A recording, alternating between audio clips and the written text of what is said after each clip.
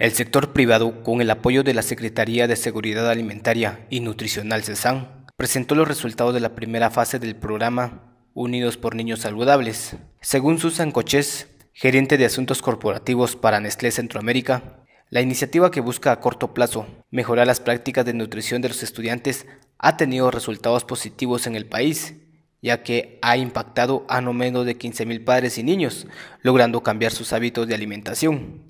Con el objetivo de promover hábitos saludables en los niños, eh, realmente nosotros hemos logrado a través de nuestros aliados eh, alcanzar a casi el 40% de la población llevando nuestro mensaje.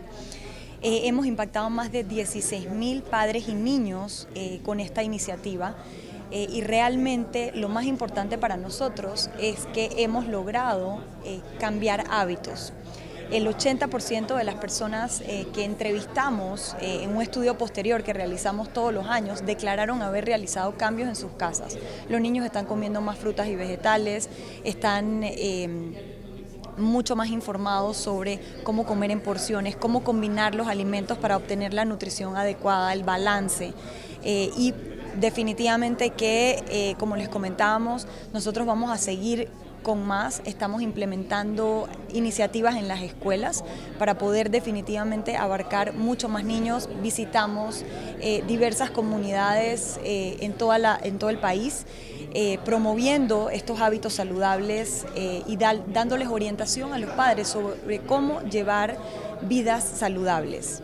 A decir de Coches, en la segunda fase, que aún está por orientarse, se priorizará en las escuelas Asimismo, se espera visitar más comunidades del país para informar de cómo comer y combinar las porciones alimenticias y obtener una alimentación adecuada. Juan Carlos Carillas, jefe de la CESAN, mencionó que la entidad ha proporcionado la información necesaria para que los mensajes sean claves y así fomentar en los padres los hábitos saludables.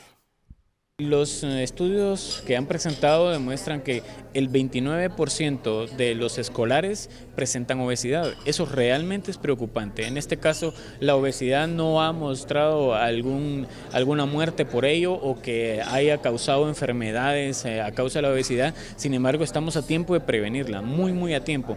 Entonces, los resultados que ahorita muestran ellos es que las familias que han sido evaluadas, las que han sido entrevistadas, sus niños tienen mejores hábitos de consumo, sus niños quieren comer frutas, quieren comer verduras eh, y lo que tenemos que hacer nosotros es articular con los ministerios como Agricultura o Ministerio de Desarrollo que manejan programas sociales para que también se promuevan eh, la siembra de árboles frutales, los huertos familiares, los huertos escolares en, en todo el país o al menos en las áreas más vulnerables para que puedan ellos tener acceso y que tras el conocimiento también lo lleven a la práctica.